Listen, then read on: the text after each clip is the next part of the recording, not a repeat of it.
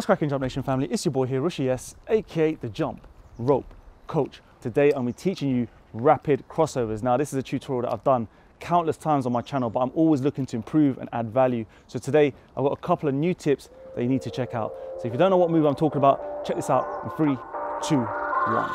Peace.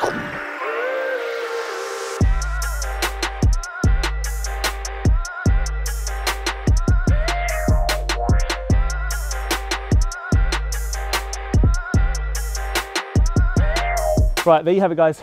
As I know you agree, that is an ultimate slick move, something that everyone basically tries to get to as soon as they pick up their rope, right? Crossovers is really like, I guess, probably the second move that everyone tries to pick up, right? Today I'm gonna be showing you three quick drills on how to get this done right. Now, first thing is this, right? It's gonna sound a bit weird, but I want you to try do it without your shoes on. You're probably gonna be like, what the fuck are you talking about, Rush? Like, you're gonna, gonna get me slapped, but this is it, right? This is the reason why I think I've kind of nailed getting the accuracy right is because when you get slapped by a rope, guys, especially on your feet, it's not nice, obviously, hurts, but it'll actually improve your accuracy. Now, if you've got foot problems, uh, heel issues, don't do this, please.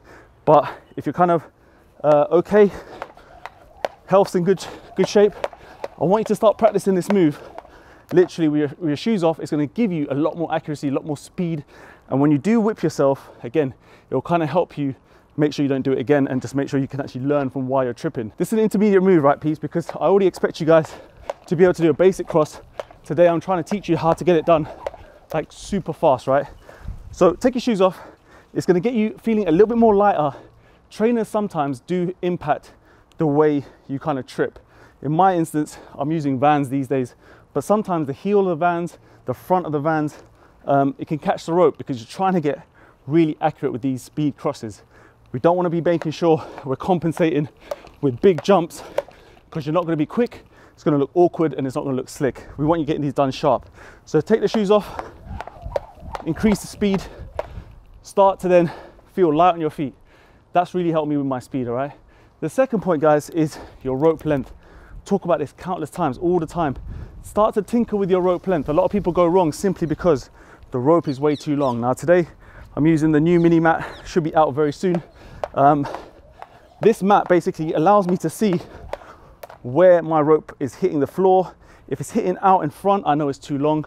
Similarly, if it's kind of tripping up high on my feet, I know it's too short. So you've got to start tinkering with your rope length. Now you can start using knots, the speed rope, the money rope, knots is the way forward, in my opinion, or if you're really sure, cut it down. But you want to start tinkering with the knots so that you can start to understand what's your favorite rope length, right, to get these done.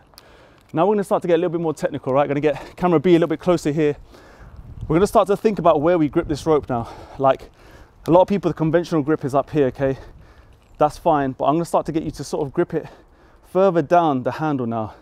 And what that's gonna allow us to do, peeps, is when we cross now, we're gonna get a little bit more width with the rope. You don't have to cross so much.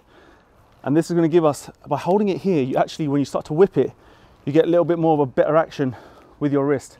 If you're kind of high up, you kind of have to force the rope around a little bit more. Here, you can kind of sling shot it, if that makes sense.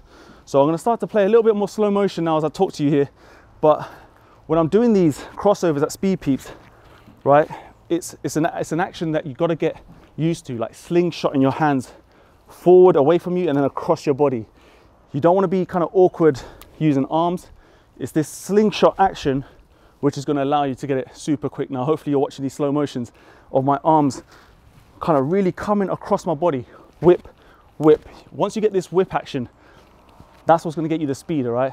Don't get confused thinking that it's arms. It's all kind of arms here and coming away from your body.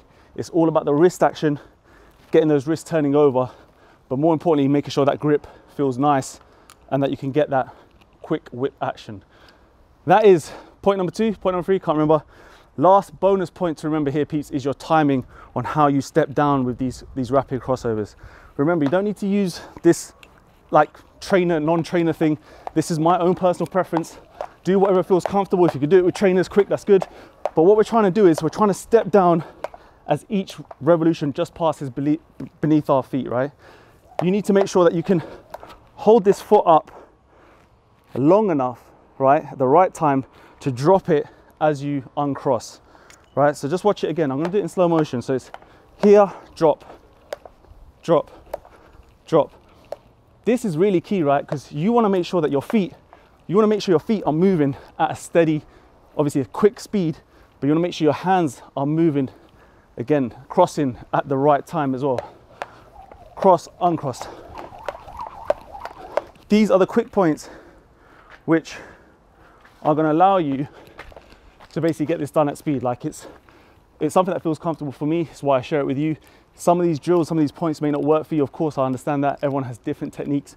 Um, but when you're using something like a speed rope, when you can tinker the, the rope length, when you can get your feet looking light, feeling light, staying on the balls of your feet, all these kind of first beginner foundation parts of this move, you'll make sure that these little extra little tips I can give you, the handle grip, um, the way you sort of fling or kind of get that whip, these are really key things that not a lot of people know or utilize, right? So this is a very quick tutorial. Remember, I would love you all if you really enjoyed this video anyway, give a big thumbs up, really useful for me.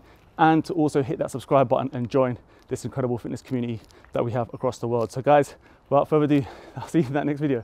So take care of yourself, skip the treadmill, stay safe. Peace. Was the in shining armor in your movie?